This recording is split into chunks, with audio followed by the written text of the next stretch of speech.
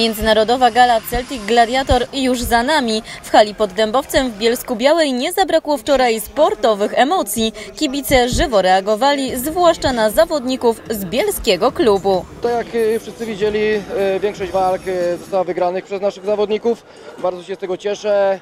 E, Większość walk też e, przed czasem. W najważniejszych walkach polscy zawodnicy ponieśli porażkę. Marta Waliczek przegrała przez poddanie w rundzie pierwszej z Litwinką, która zdobyła w ten sposób pas w kategorii koguciej.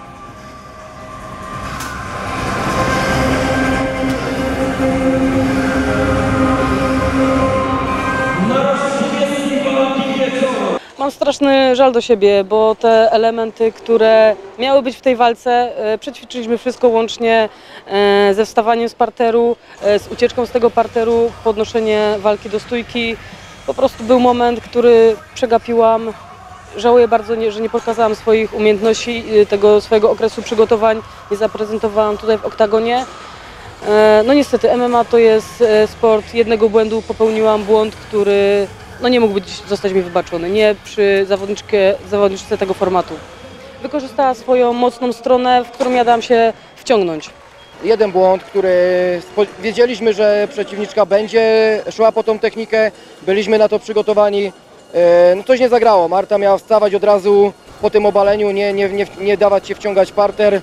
E, Technika została założona, no i niestety no, Marta musiała klepnąć i, i uznać wyższość walki. Tak, taki jest sport, no, to, jest, to jest element tego i musimy się z tym pogodzić, ale nie załamujemy się. Za niedługo Martę zobaczymy już z ręką w górze. No taki jest sport, a co dalej? Teraz na pewno muszę odpocząć yy, i, i taki mam właśnie zamiar. Po czym wrócę na salę i będziemy analizować, pracować dalej, szukać kolejnych wyzwań, kolejnej walki. Na pewno się nie poddam.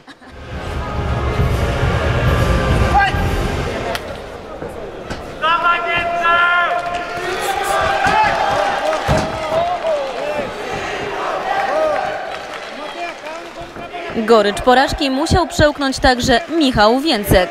Po duszeniu z zapleców w pierwszej rundzie uległ Brazylijczykowi, ale nie zabrakło również zwycięskich walk. Warto tutaj zwrócić uwagę na Mariusza Radziszewskiego czy Pawła Brandysa, jeżeli chodzi o zawodników z bielskiego klubu.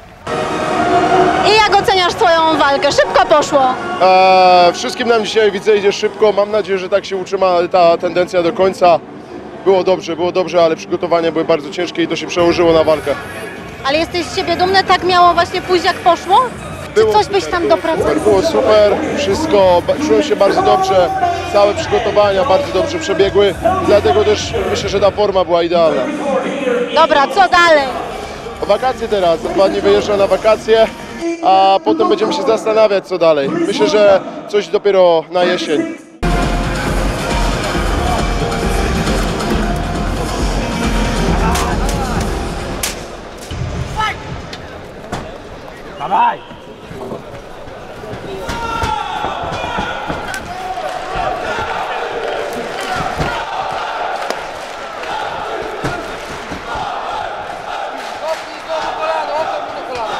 Uderz też na to!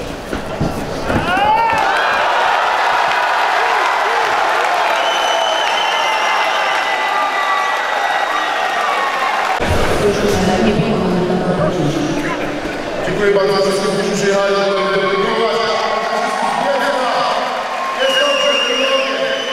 Bardzo fajnie, bardzo fajna oprawa.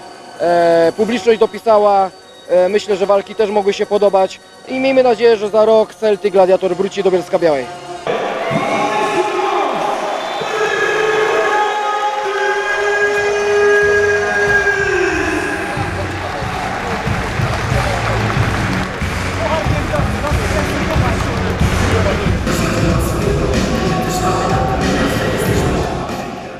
Dla portalu Śląska Cieszyńskiego XPL Marta Szymik-Telesz.